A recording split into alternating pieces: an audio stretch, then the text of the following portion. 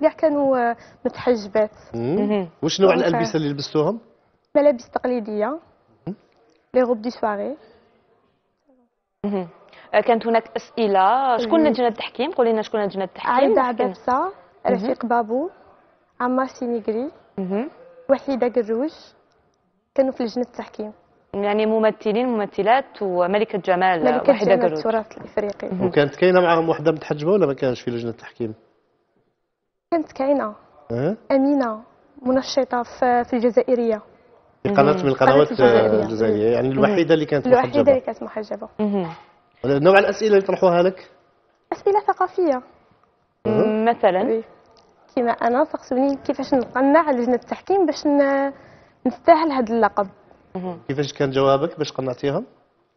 قنعتهم بالطريقة تاعي. واش كانت طريقتك؟ نقدروا نعرفوا هذه الطريقة؟ آه. ولا تدي وقت؟ تدي وقت تدي وقت. كانت عن طريق الإجابة عن على طريق الأسئلة. استرسال في الكلام كان.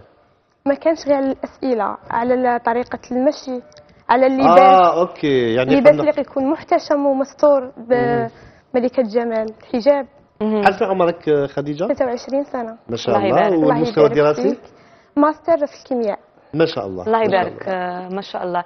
الله هذه يبارك. المسابقة في رأيك آه، واش راح تفتح لك باب؟ وشنو الهدف آه، من خلال مشاركتك آه، في هذه المسابقة؟ أه ولاو عندي أهداف بزاف إن شاء الله نشرف آه، الجزائر في مسابقات عالمية. مهم. خاصة بالمحجبات. خاصة بالمحجبات إن شاء الله. كاين مسابقات عالمية خاصة بمسابقه جمال المحجبات؟ نورمالمون كانت كاينة اون 2019 وتوجت باللقب تونسية.